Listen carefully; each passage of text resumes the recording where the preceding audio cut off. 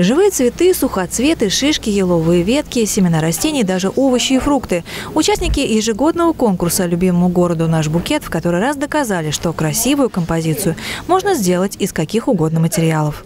Прошлые годы мы принимали и вышивки, и рисунки, и поделки разнообразные на тему «Букет нашему городу». В этом году мы немножко ограничили работы.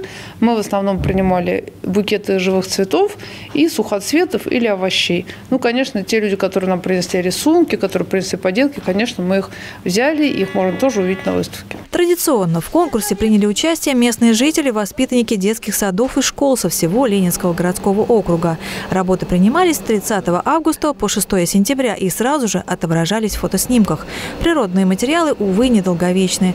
Всего на суд жюри было предоставлено более 80 композиций. Выбрать из них лучшие оказалось непростым делом. У нас э, было три номинации. Самый оригинальный букет, букеты живых цветов и букеты сухоцветов каждой номинации по три места.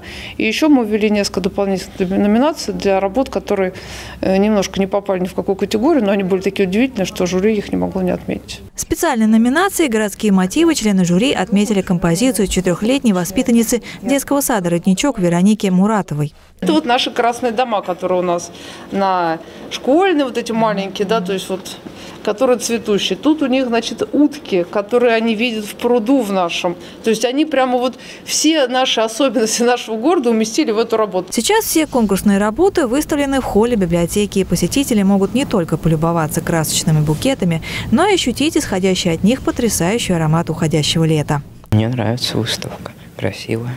Это нужно быть мастером, чтобы такое сделать. Очень хорошо получилось. Список победителей уже размещен на сайте библиотеки. Все они получат сертификаты и памятные подарки. Книги, конечно. Церемония награждения состоится в ближайшее время. Следите за анонсами. Екатерина Борисова, Кирилл Иванов, Ольга Садовская. Видно этого. А, поскольку у нас